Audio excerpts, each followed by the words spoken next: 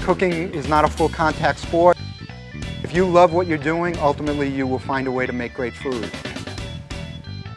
If you don't love what you're doing, it'll never be good no matter how closely you follow the recipe.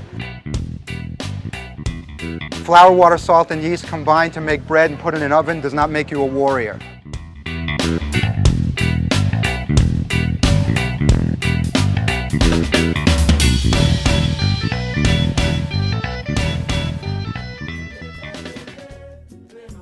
We're here at the Forno Bravo Expo in uh, just outside of Salinas near Monterey at the Talbott Vineyards. And I'm here with John Arena, one of the great pizza makers in the country, Metro Pizza in Las Vegas.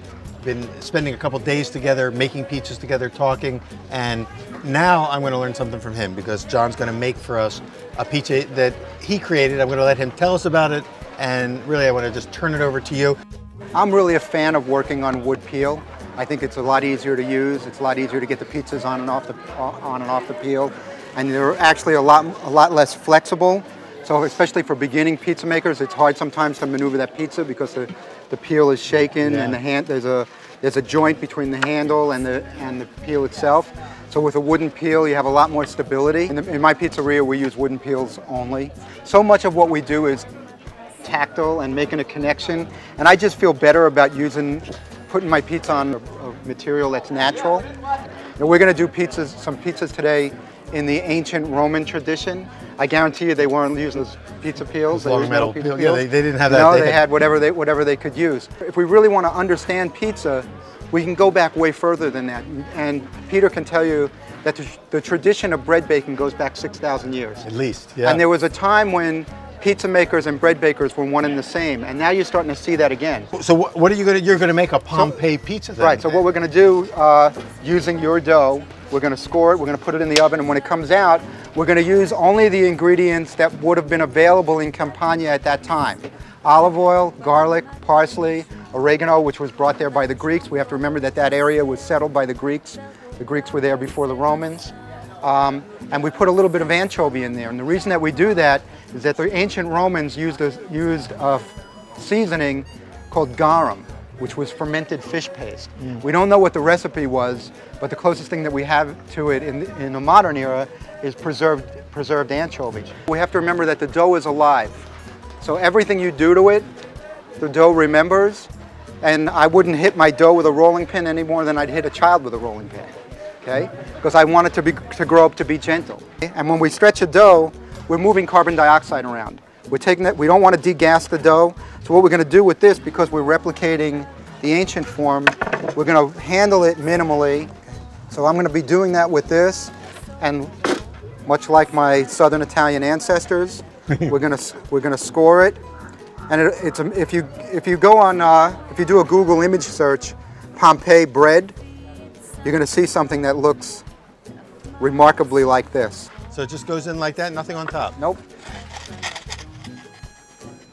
And the oven is cranked up pretty high, probably what about 700 degrees or so?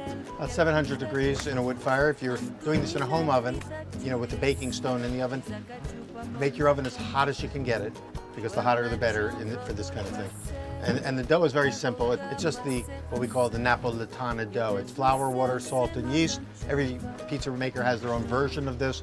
The flour we're using today comes from Central Milling in Petaluma, California. The double zero means that it's been sifted to the finest level of what we call the endosperm, the pure white part of the flour. It's the softest, purest, finest part of the flour, and so double zero means it's very low in minerals, fiber. It's uh, it's soft.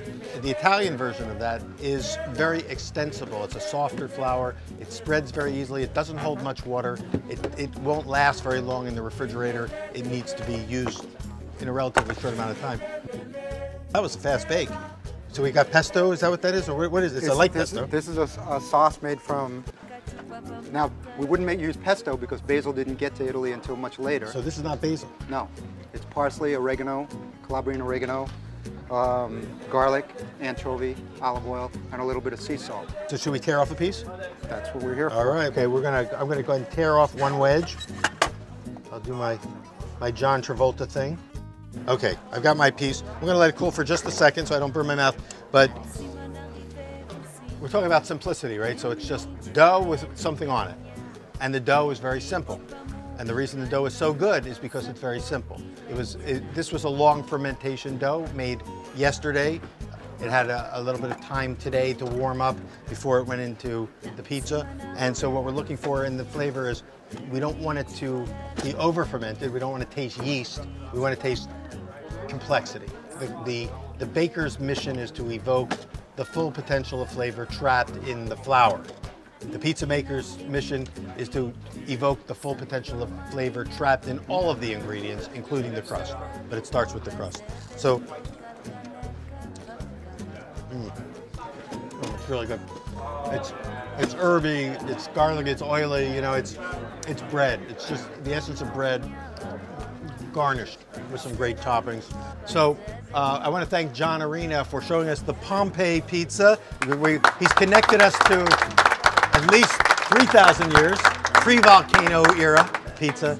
And, uh, and thank you, and I will see you throughout the expo. Thank you.